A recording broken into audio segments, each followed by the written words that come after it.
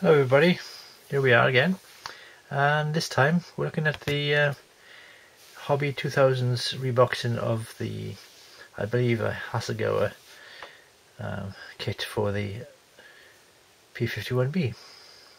So it's the beak, it's got a high back and the uh, bubble canopy like that and the fact that it says so.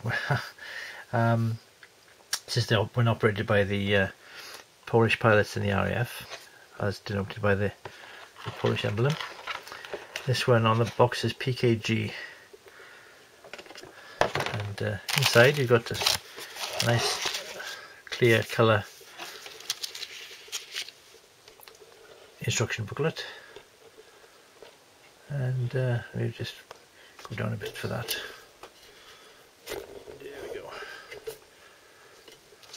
That's a vertical panning shot you could call it. As you can see there you got painted mask set uh, which is this little black vinyl.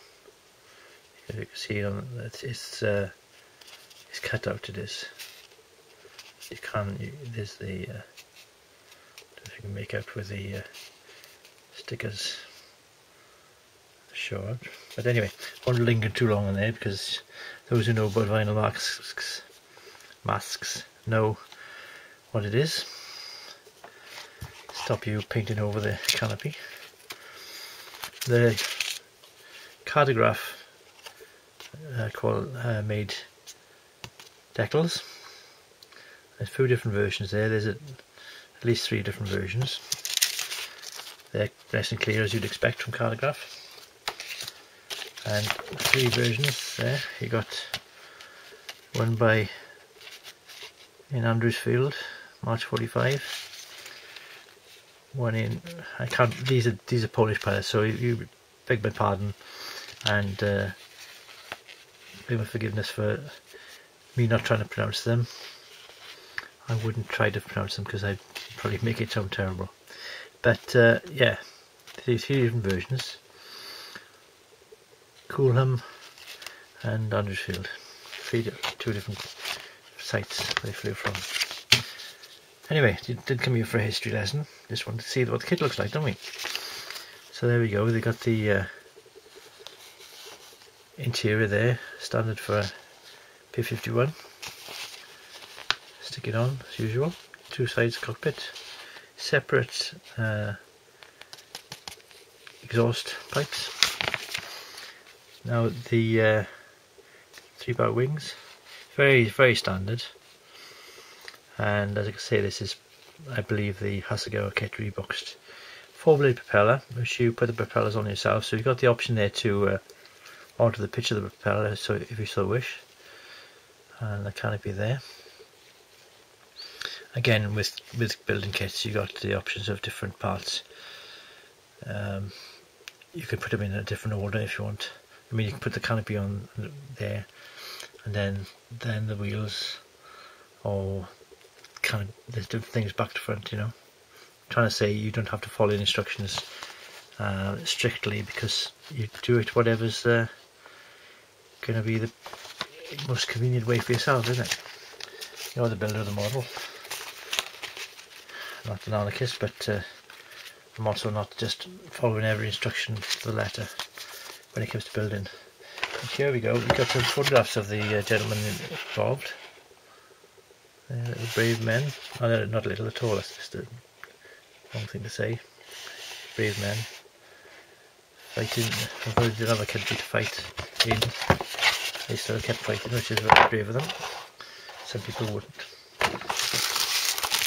Here's the kit itself. Now, the only criticism I got of this kit is the Hasegawa kit. Is the wings have got a bit of a get out of the way, somewhere A bit of an extra you can see that on there. For an extra, the shape of the top of the wing is a bit sort of curved in a uh, reverse curve there, which I haven't noticed on real planes, and I've only noticed on Hasegawa kits. So the one for the P51D uh, jumping jacks, I've got a kit of. It's got the same wing shape on the top there, but otherwise it's a standard kit nice recessed panel lines and uh, fairly good detail. You got uh, the radio there. Trying to get into the background that didn't focus on. Obviously, you got a different canopy with this kit than the other ones because it's a, I think it's a B model. Got the Rolls Royce engine in it. Uh, that's the old sprue from the wings, but I've taken them off because I wanted to see how they fit. And then got the very small parts there, nice details, strong enough uh, wheel wheels there and main wheels, doors, various parts. Not a complicated kit by any means, but uh, everything's there that you want it to be there. The shadow kit there, shadowy kit. Right, that's it. That's it. I should say, not, not that's it. That's it. My pronunciations can be a bit colloquialisms sometimes. The Welsh accent does sound very Welsh, isn't it? Sometimes. Right, I won't make fun of my own country anymore. I'm going to stop there and uh, bid you all a good day because that's the end of the kit. Look at. Thank you for watching and thank you for keeping watching too. Um, I won't be doing just kits eventually. I'll show you other things and full bills and progress reports and things. But uh, for now, thanks very much for six and a half minutes of watching. Bye bye.